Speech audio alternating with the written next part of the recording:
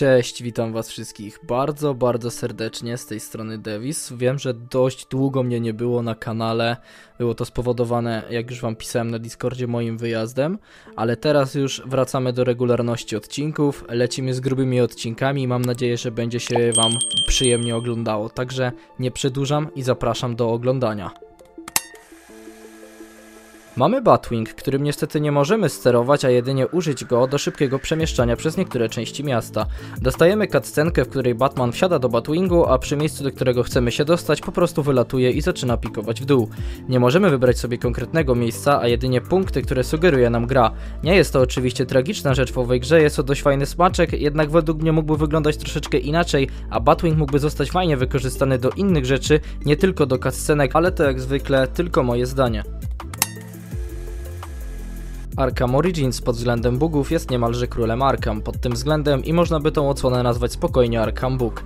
Bugi pojawiają się różne, od śmiesznych, takich jak dziwne ułożenie ciał po tym jak jakiegoś gagatka znokautujemy naszym nietoperkiem, po wystrzelenie tych ciał po prostu w kosmos. Są również te niezbyt przyjemne, takie jak utrudnienie poruszania się, nasz Batman blokuje się w różnych dziwnych obiektach, czy mi nawet zdarzył się bug, który nie pozwolił mi ukończyć gry. Ale żeby nie być tak kompletnie gołosłownym, to powiem wam na czym polegał ten mój bug, a polegał on na tym, że po walce z Bane'em, który był na TN1, tam w Blackgate wiecie o co chodzi, to po prostu kiedy ta misja już zakończyła się i chciałem przejść dalej, to niestety Batman po załadowaniu się całej sceny zapadał się po prostu pod mapę i nie dało się kompletnie nic zrobić. Jak zwykle w naszym Arkham dostajemy w gratisie miliard, tym razem pakietów Enigmy, które jak dla mnie do zbierania są jeszcze gorsze niż trofea. Po pierwsze jest ich bardzo dużo, po drugie na niektórych obiektach bardzo słabo je widać, po trzecie na mapie często są one nawalone jedna na drugą, przez co ciężko się połapać co i gdzie.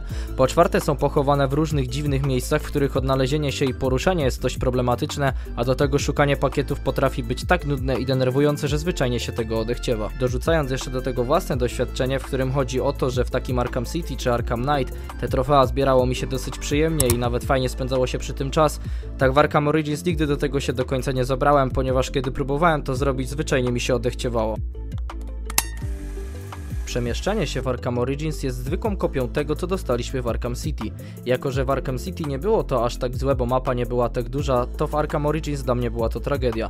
Ponieważ czasami chcąc dostać się z punktu do punktu, dało się zwyczajnie znudzić ciągłym szybowaniem i przyczepieniem haka do budynku i wystrzeleniem, które czasami wręcz spowalniało.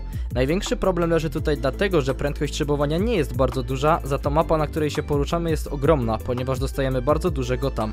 Pomijając już fakt, że samo łapanie się hakiem czasami jest problematyczne, bo w niektórych miejscach nie da się zahaczyć, przez co spowalniamy się jeszcze bardziej.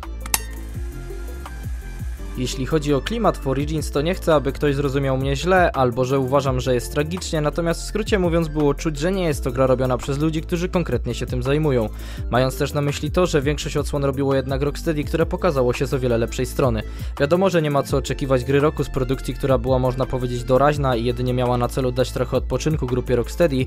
W Arkham Origins klimat, jeśli chodzi o miejsce akcji i czas akcji w grze, jest akurat zrobiony świetnie, ponieważ czuć święta, a miasto swoimi pięknymi ozdobami i światełkami jedynie to to dopełnia, jednak zawsze w owej odsłonie nie czułem tego klimatu Mrocznego Rycerza, co chociażby w Arkham City. Można by było czepiać się wielu drobnostek, jak i w tej, tak i innej grze, jednak chodzi tu o proste przedstawienie, co moim zdaniem było nie tak i wolałbym to poprawić, jak i często jest to poparte przez innych, którzy również przeszli ową produkcję. Tak zupełnie podsumowując, nie chodzi tu o to, aby kogoś zniechęcić do tej gry, ponieważ ta produkcja sama w sobie naprawdę nie jest zła i jest warta, by ją przejść, ponieważ ukazuje fajne przygody jeszcze za młodych lat naszego młodego nietoperka. A teraz to już koniec tego odcinka. Mam nadzieję, że film Wam się spodobał, a jeśli tak, to nie zapomnijcie strzelić łapki w górę oraz subskrypcji Możecie również napisać komentarz. Nie zapomnijcie także wbić na naszego Instagrama, Discorda oraz TikToka. Wszystkie linki macie w opisie. A teraz się już z Wami żegnam. Trzymajcie się. Cześć.